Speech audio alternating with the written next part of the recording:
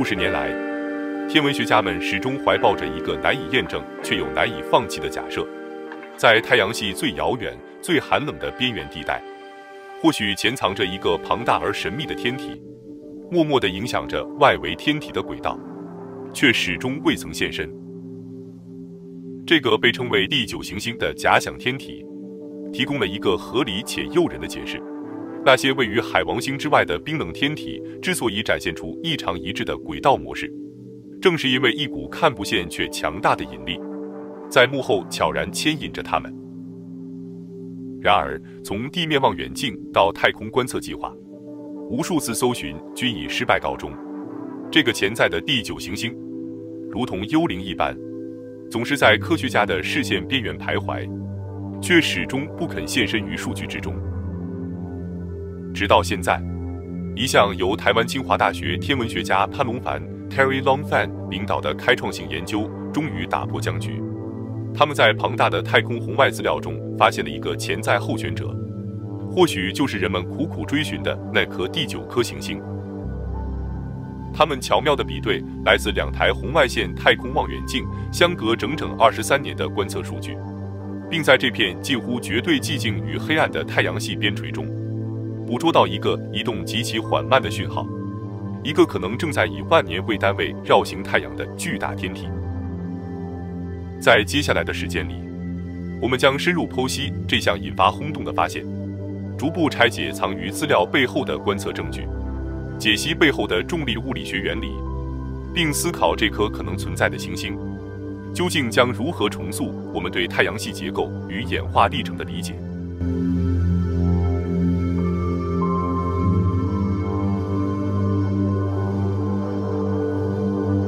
二零一六年，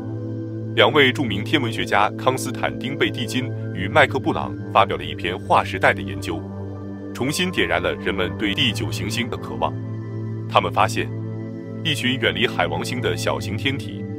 其轨道呈现出难以解释的奇特排列，可能暗示着背后存在着一个巨大的重力源。这些微小冰封的天体，也就是所谓的跨海王星天体 （Pianos）。其轨道分布不仅远离太阳系的已知行星，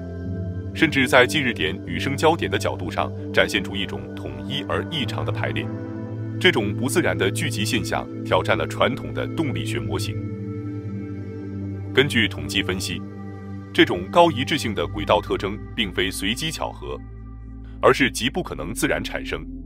除非某个隐形的质量庞大的天体正在从远方持续施加引力。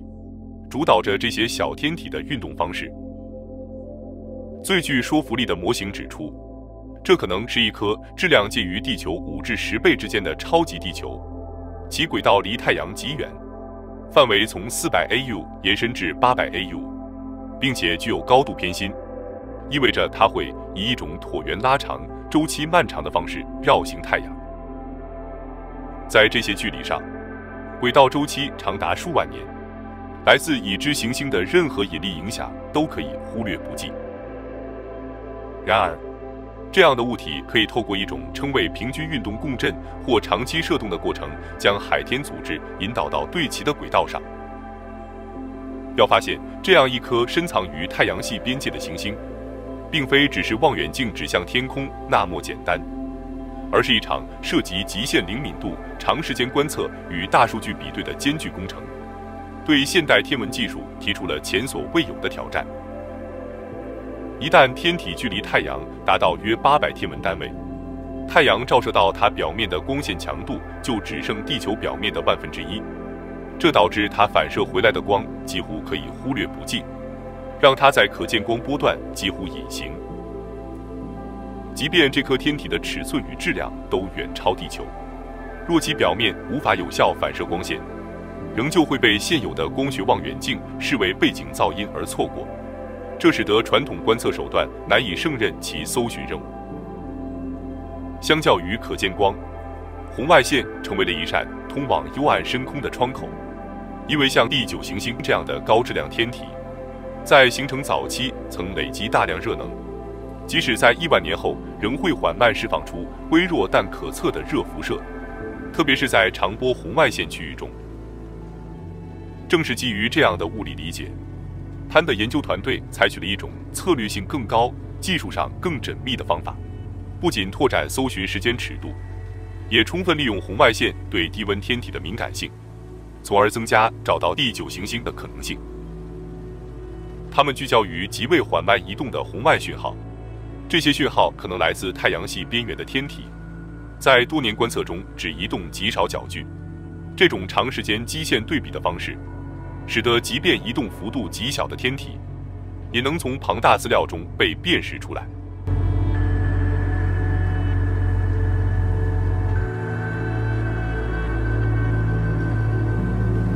研究重点落在两项跨时代的观测任务。一是1983年发射的美国 IRIS 卫星，另一是由日本于2006年启动的 A-Carry 任务，两者皆进行过全天空红外扫描，提供了完整而宝贵的观测记录，成为本次分析的资料基础。因为这些任务涵盖的是整个天球，并具备长波段红外线感测能力。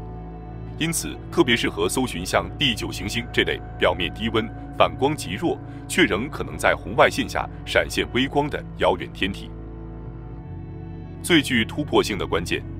在于 IRIS 与 A-Carry 这两项任务之间长达二十三年的时间间隔，这赋予研究者一条理想的时间基线，能更容易识别出那些在恒星背景中缓慢移动的候选物体，从而大幅提升识别成功率。与依赖反射可见光的光学望远镜不同，红外线望远镜的核心能力在于探测热辐射，不必依赖太阳光的照射，而是能够直接感应天体自身所释放出的热能，即使这热非常微弱。对于像第九行星这类位于太阳系边缘、表面温度极低的天体而言，它们的主要能量释放形式并非可见光，而是集中在远红外或次毫米波段。这使得红外线成为探测此类天体最有力的工具。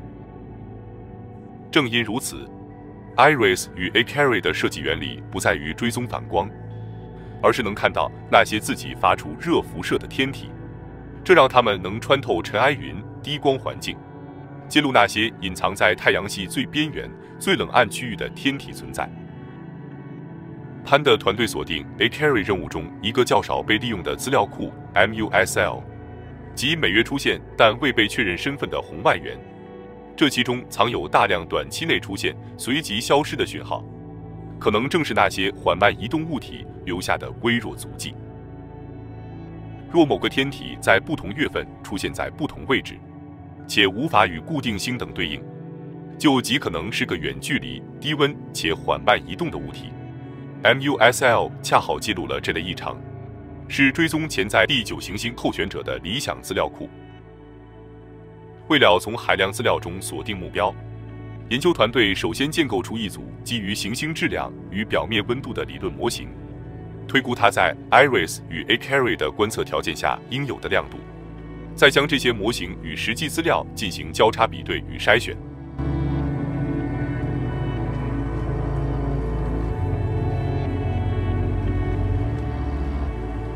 经过层层过滤与比对，从初步的数千笔潜在讯号中，仅剩下十三个符合预测亮度与可能运动轨迹的目标。这是一场庞大资料处理与理论推演的结晶。而在这十三个候选中，有一个天体脱颖而出，它的亮度、位置、运动方向乃至于时间分布，全都与第九行星的模型预测高度吻合。这颗候选物体在 IRIS 与 A-Carry 两次观测之间所呈现出的空间位移，正好与研究团队模拟的第九行星预期运动相符。更关键的是，在其他不应该观测到它的时间点上，它完全消失无踪，进一步排除了恒星或近地物体的可能性。这个物体在二十三年观测间隔内的角距变化范围落在四十二至六十九角分之间。这正是位于数百天文单位远的天体，在天空中应有的移动幅度范围，即符合一个处于外太阳系深处、运行速度极慢的行星模型。更令人瞩目的是，这颗天体只在预测应出现的时间点短暂现身，其他时间完全没有讯号反应。这种只出现在该出现的时刻的特性，大幅降低了它是红外线噪音或远处背景天体的可能性，强化了其作为第九行星候选者的可信度。若这个目标最终被证实为真实存在的天体，它将成为目前所知太阳系中移动最慢、距离最远的行星之一，也有可能就是那颗让天文学界费尽心力寻找数十年的第九行星。事实上，寻找第九行星的历史渊源可回溯至19世纪，当时科学家透过天体力学计算发现，天王星与海王星的实际轨道与预测值略有偏差。这促使他们怀疑还有尚未发现的巨大天体在干扰他们的运动。虽然这样的推理最终在1930年导致冥王星的发现，但冥王星的质量远远不足以造成当初预期的重力射动，这也使得它无法完全解释天王星与海王星的轨道异常，留下了一个未尽的科学悬案。到了21世纪，随着像赛德纳。与2012 VP113 这类拥有极端轨道参数的跨海王星天体陆续被发现，这股对隐形大行星的科学兴趣再度被点燃。它们异常的远日点与高度倾斜的轨道，被认为极可能是受到一颗遥远大质量天体的长期引力射动所致。潘的团队的研究之所以特别，正是因为他们不是依赖当前的即时观测，而是回溯分析历史观测资料。寻找那些在数十年间悄然改变位置的天体，这种方法极具创新性，也展现出资料在利用的巨大潜能。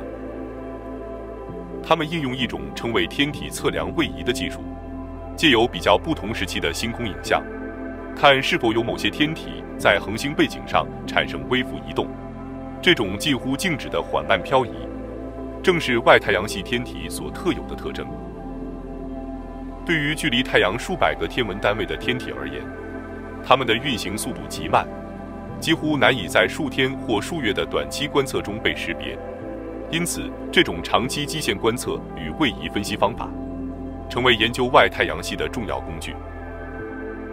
然而，要正式确认这个候选天体的身份，下一步的关键工作仍在于透过高灵敏度光学观测，持续追踪其运动路径。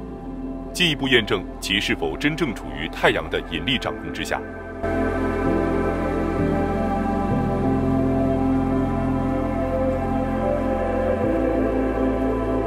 为了进行这项高精度的观测，研究团队建议动用位于智利安第斯山脉的托洛罗山天文台 （CTIO） 所配备的暗能量相机 DECam。这是一台能拍摄极深视野、解析度极高的设备。特别适合搜寻微弱移动天体。暗能量相机的优势在于其结合了宽视野与深成像能力，可以在短时间内拍摄大量天区，同时捕捉到非常暗淡、移动速度极低的目标，是目前最有潜力协助发现第九行星的观测设备之一。如果在即将进行的观测中，该天体再次出现于预测位置。并与前两次观测点形成一致的轨迹，天文学家便能开始推算其完整轨道，继而判定它是否为太阳系的成员。若其轨道呈稳定椭圆，明确绕行太阳，并从亮度与温度分析得出接近地球五至十倍的质量，那么人类将正式拥有一颗继冥王星后真正意义上的新行星。不过，也不能排除其他可能性。这个物体也许是一颗质量边缘接近行星的棕矮星，一块孤立于太阳系边陲的冰封小天体，或者甚至是一颗在太阳系形成初期从其他恒星系统流浪而来并被捕获的行星。无论最终结果为何，这颗神秘天体所代表的每一种可能性，都将为天文物理学提供关于行星形成、动力学演化与星际交换的新线索。如果这颗天体真的被确认为第九行星，那么这将是二十一世纪最重要的天文发现之一，可能彻底改写我们对太阳系结构与起源的理解。这将促使天体物理学家重新审视行星在早期太阳系中的迁移模式，并深入研究木星、土星如何透过引力弹射机制将其他行星推向太阳系边缘的可能性。科学界将面对一个关键问题：第九行星究竟是诞生于太阳系内部，经引力抛射而流放至外围，还是在太阳年轻时期从其他星系经过，意外交由太阳捕获？不论它的最终身份为何，这段旅程本身就是对科学精神的最佳诠释。结合跨时代的观测资料、现代数据处理能力，以及对宇宙深处的无尽想象与追寻，我们所处的太阳系远非已经写完的篇章，它仍然是一个不断演化、潜藏惊奇与未解之谜的天体乐章，等待下一位探索者翻开新的一页。凭借最新的资料技术与前所未有的观测工具，人类正以前所未有的速度接近这个几代天文学家梦寐以求的答案：第九行星是否真的存在？他的研究团队所发现的这个候选物体之所以引起重视，并非因其表现出异常华丽的特征，而是因为它几乎在每一个细节上都与第九行星的理论模型高度一致，这让它成为目前最可信。最具代表性的候选者，这颗候选天体跨越二十多年的时间，于两次独立的红外线调查中均以预测方式出现，移动缓慢，光度合理，且未曾在不该出现的时候露面。种种迹象让它成为目前最值得进一步研究的目标。也许我们正站在理论与观测的交汇点上，准备见证从假说走向发现的历史性一刻。接下来的观测将决定，它究竟是太阳系真正的第九行星，还是某个被遗忘已久、奇异却真实的星际来客。无论最终结果为何，这趟旅程本身提醒着我们，即使在人工智慧与高速数据主导的数位时代，耐心梳理历史资料、回顾被忽略的讯号，依然能够揭示宇宙中最深邃的真相。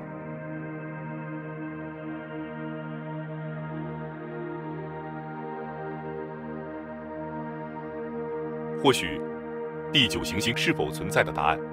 并不只关乎一颗行星的命运，而是映照着人类如何在无垠黑暗中寻找秩序与意义的方式。当我们在亿万公里外的寒冷空域寻找一点微光，